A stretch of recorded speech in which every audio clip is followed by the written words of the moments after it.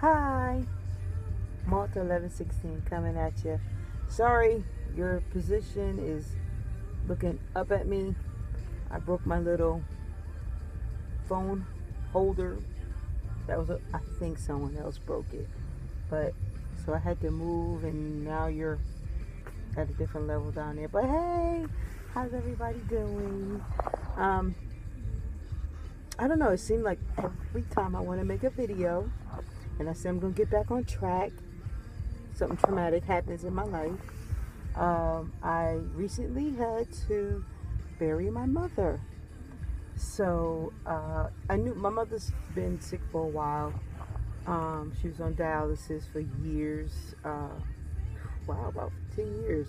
The doctors were amazed uh, with how long and how well she was doing. Um, but um, she took ill. Didn't know, didn't really understand how serious her condition was. She didn't let us know um, the depths of uh, her illness. She used to live here in New Jersey. Then she went to North Carolina to take care of her father. Her father's still living. Oh, amazing man. Uh, 93. Her father's 93. Was 93 and um, she had been sick for a while. So I usually go down there periodically and, you know, go down there and rough her up a little bit. Look, start taking care of yourself and, you know, do what's right, do what you're supposed to be doing. So that's actually what I was going to do.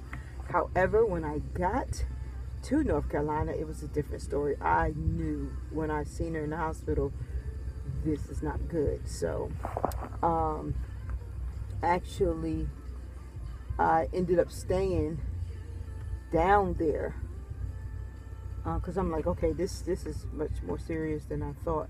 And even then, she still was, hey, I'm fine, I'm doing good.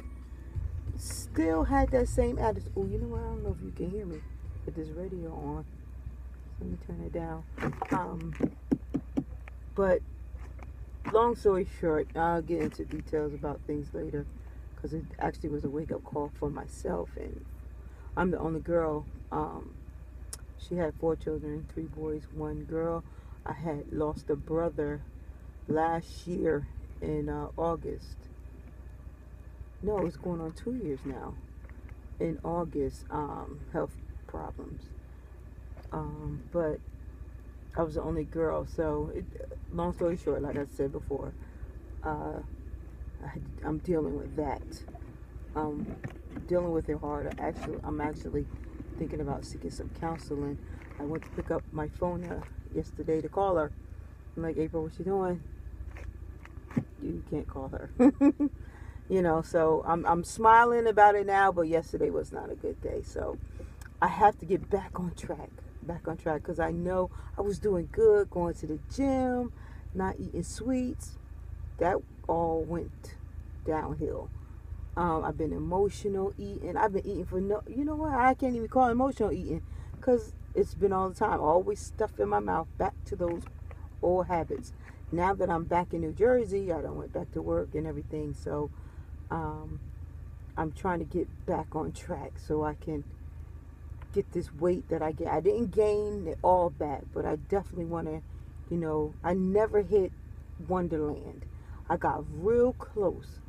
Um, so I need to get things together so I can get back to Onederland. But anyway, um, again, Malt 1116 coming at you.